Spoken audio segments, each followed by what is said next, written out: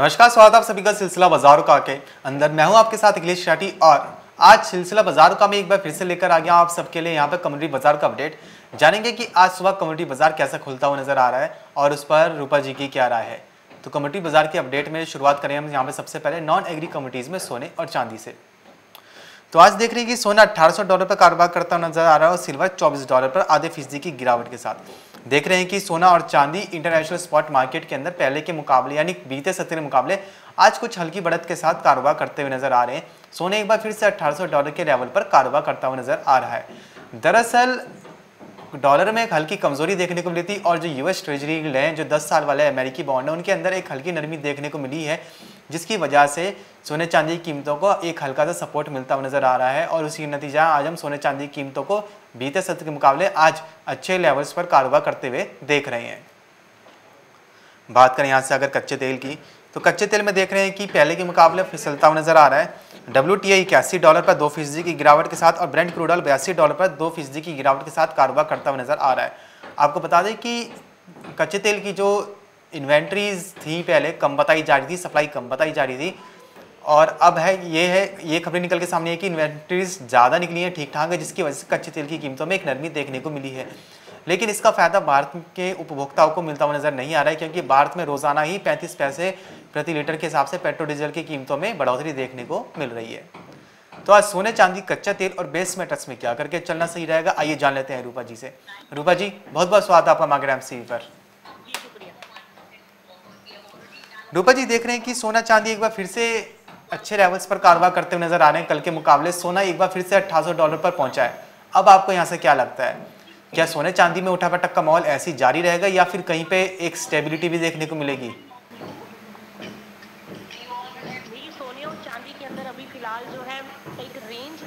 देखने को मिल रही है। आ, सोना ना तो 1800 डॉलर के ऊपर सस्टेन कर पा रहा है और ना ही 1800 डॉलर के हम एक से दो ट्रेडिंग सेशन में देख रहे हैं कि 1800 से नीचे लुढ़कता है, लेकिन फिर वही वापिस से बाउंस बैक आ जाता है।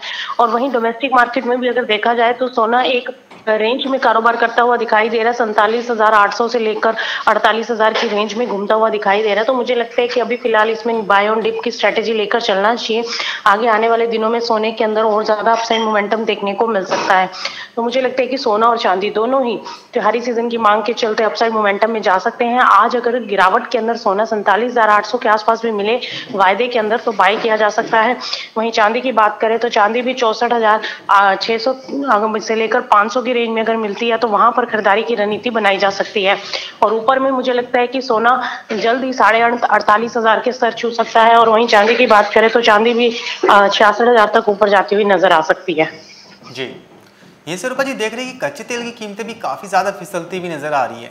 आपको क्या लग रहा है? क्या कच्चे तेल में प्रॉफिट बुकिंग अभी और बनती हुई नज़र आ पाएगी? देखिए कच्चे तेल की जहाँ तक बात है अखिलेश अभी गिरावट में है क्योंकि जो इन्वेंट्रीज बढ़कर कर आई हैं स्टॉक प्राइस जो बढ़े हैं मैं यूएस के अंदर उसका इम्पैक्ट हम्म। जो है वो देखने को मिल रहा है कल के बाज़ार में भी और आज भी हमने देखा है कि इन्वेंट्रीज बढ़ने के बाद जो है इसकी कीमतों के ऊपर एक कंट्रोल आता हुआ दिखाई दिया और ऊपरी स्तरों पर प्रॉफिट बुकिंग हावी हुई है जिसके चलते कच्चा तेल फिसलता हुआ नज़र दिखाई नज़र आता हुआ दिखाई दे रहा है आज भी डोमेस्टिक मार्केट में दो फ़ीसद तक लुढ़का हुआ है और इंटरनेशनल मार्केट्स के अंदर 81 डॉलर के आसपास कारोबार करता हुआ दिखाई दे रहा है। और अगर इसी तरीके से मुझे लगता है कि ये वाला वीक थोड़ा सा प्रेशर वाला रह सकता है। अगर 80 डॉलर अब यहाँ पर डब्ल्यूटीआई के लिए अहम सपोर्ट रहेगा, अगर उसको ब्रेक कर देता है तो फिर थोड़ा सा और ज़्यादा गिरावट जो है एक, दो दो से चार डॉलर की ओर बढ़ सकती है। लेकिन फ़िलहाल यहाँ पर ज़्यादा से ज़्यादा मुझे लगता है कि जो गिरावट आएगी, एटी डॉलर के आसपास सपोर्ट ले सकता है, जो वापिस से इसको एटी डॉलर तक ले जा सकता है।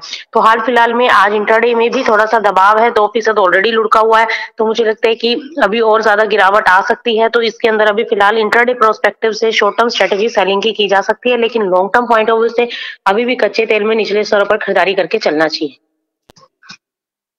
जी सब देख रहे हैं आज बेस मेटल्स का बाज़ार भी कुछ नरमी के साथ कारोबार करता हुआ नज़र आ रहा है। आपको क्या लग रहा है? क्या बेस मेटल्स में कच्चे तेल की तरह यहाँ से प्रॉफिट बुकिंग और ज़्यादा गिराएगी या फिर बेस मेटल्स का बाज़ार यहाँ से उठता हुआ नज़र आ सकता है? देखिए बेस मेटल्स में भी दबाव जो है वो लगातार बनता हुआ दिखाई दे रहा है क्योंकि यूके के अंदर कारों का प्रोडक्शन जो है वो गिरा है। तो जब से हम्म। ये डेटा अपडेट हुआ है तब से इसके अंदर लगातार प्रेशर बनता हुआ दिखाई दे रहा है और कहीं ना कहीं डिमांड कम होने के एक्सपेक्टेशन के चलते बेस मेटल्स लुढ़कते हुए दिखाई दिए हैं। कॉपर जो 800 के ऊपर निकल गया था वो वापिस से साढ़े के नीचे आ चुका है।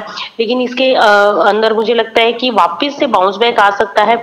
ये प्रॉफिट बुकिंग आप इसको कह सकते हो कि अभी थोड़ा सा और इंटैक्ट हो सकती है मार्केट के अंदर और जिसके चलते दबाव बन सकता है। 720 के आसपास एक बार कॉपर सपोर्ट लेता हुआ दिखाई दे सकता है, जिस वहाँ पर वापस एक फ्रेश बाइंग इनिशिएट होती हुई दिखाई दे सकती है। वहीं जिंक की बात करें तो जिंक भी दो सौ अठहत्तर तक एक बार नीचे लुढ़क सकता है। दो सौ अठहत्तर से लेकर ऊपर में दो सौ बयासी की रेंज फ़िलहाल जिंक भी दिखा सकता है। वहीं अगर निकल की बात करें तो चौदह से लेकर 1520 1540 अभी फ़िलहाल ये रेंज बनती हुई दिखाई दे रही है।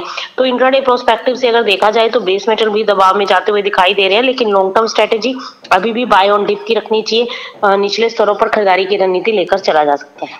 जी। इसे रूपा जी, देख रहे हैं नेचुरल गैस की जो कीमतें हैं, आज इंटरनेशनल मार्केट में हल्की सी करेक्शन के साथ ट्रेड कर रही हैं, लेकिन अब देख रहे हैं कि सर्दियाँ का मौसम भी आ गया है। आपको क्या लग रहा है?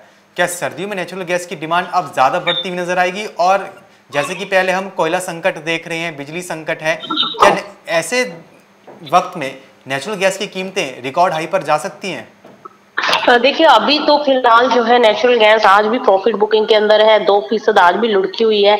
तो मुझे लगता है कि थोड़ा सा बाज़ार जो है अभी डिप में एक बार देखा जाए तो 440 438 के आसपास आ सकता है। इसका नवंबर वायदा और ऊपर में 460 के ऊपर की अगर सस्टेनेबिलिटी रहती है तो 480 तक ऊपर जा सकता है।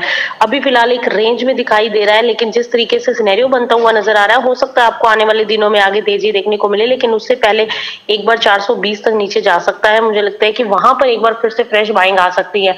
ओवरऑल ट्रेंड तो पॉजिटिव है। अभी आने वाले दिनों में डिमांड फैक्टर्स हावी हो सकता है, जिसके चलते कीमतों के अंदर एक तेज़ी देखने को मिल सकती है।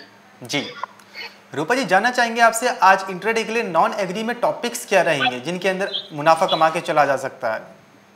देखिए अगर आज इंटरडे की बात करें तो इंटरडे में आज देखा जाए तो नॉन एग्री कमोडिटीज में सभी के अंदर आज दबाव देखने को मिल रहा है चाहे वो सोना चांदी हो कच्चा तेल हो या फिर बेस मेटल सभी कमोडिटीज आज गिरती हुई दिखाई दे रही हैं तो आज इंटरडे प्रोस्पेक्टिव से जिनको ट्रेडिंग करना हो वो आज बिकवाली की तरफ़ रह सकते हैं लेकिन ज़्यादा लंबा पोजिशन बिकवाली में अपनी खड़ी ना करें। मुझे लगता है कि आने वाले दिनों में तेज़ी बन सकती है। तो इंटरडे प्रोस्पेक्टिव से कच्चे तेल में आज सेल करके चल सकते हैं और छुटमुट बिकवाली जो है बेस मेटल्स में भी देखने को मिल सकती है। जी। तो ये तो बात करी थी हमने यहाँ पे नॉन एग्री कम्युनिटीज़ की। तो फ़िलहाल सिलसिला बाज़ार का मैं बस इतना ही। लेकिन आप कहीं जाएगा नहीं? क्योंकि खबरों का सिलसिला लगातार यूँ ही बना रहेगा मार्केट एम पर।